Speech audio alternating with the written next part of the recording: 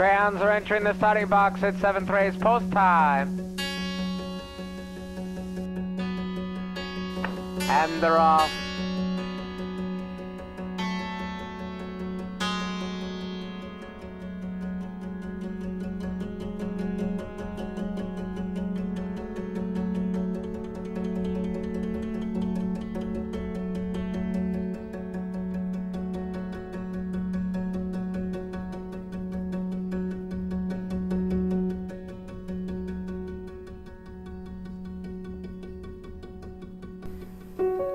After their last race has been run. There is really no other place for them to go except into a new home.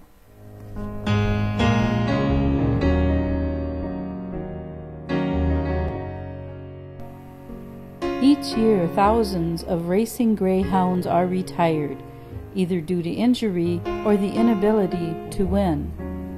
Many of these retired racers are taken in by retired racing rescue groups across the country where they are prepared to begin life again as a pet in a good home.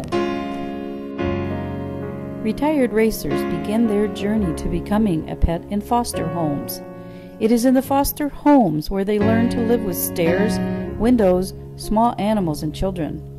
Most retired racers have never been exposed to these things before. The foster volunteers take care of all the greyhounds' medical needs, including everything from broken legs to vaccinations and being spayed or neutered. If you are thinking about adopting a retired racer, there are a few things to consider. Greyhounds are sighthounds. They are bred and trained to give chase. Though affectionately named couch potatoes, in just three strides they can go over 35 miles an hour. So it is important that they are exercised in a fenced in area or on leash. Though they are considered athletes, retired racing greyhounds do not need a great deal of exercise. A spin around a fenced in yard or a couple of walks each day is enough exercise to keep most of them happy and healthy. Retired racers generally get along with smaller dogs and cats. However, it is important to use care when introducing your new greyhound to other family pets. Rescue groups do their best to test for small animal compatibility, and though most greyhounds are considered good or trainable with cats and smaller dogs, there are some that have a high prey drive and as a result will not be adopted into a home where small animals are present. Retired racing greyhounds are also good with children. However, many adoption groups will not adopt a greyhound into a home with a toddler.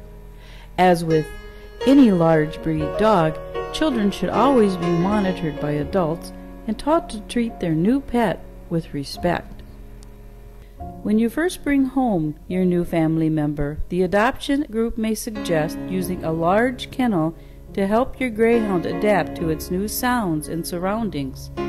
Retired racers are used to being in a kennel, and it can make them feel more secure to have a place of their own to relax. Adopting one of these gentle, loving animals is as simple as contacting your local all volunteer retired racing greyhound rescue group. Once you make contact, you will be asked to fill out an adoption application and return it to the group, who will then set up opportunities for you to meet with some retired racers. Soon after you return your application to adopt, you will meet with an adoption representative who will then lead you through the process of adopting your new family member. Please consider opening your heart to a retired racing greyhound.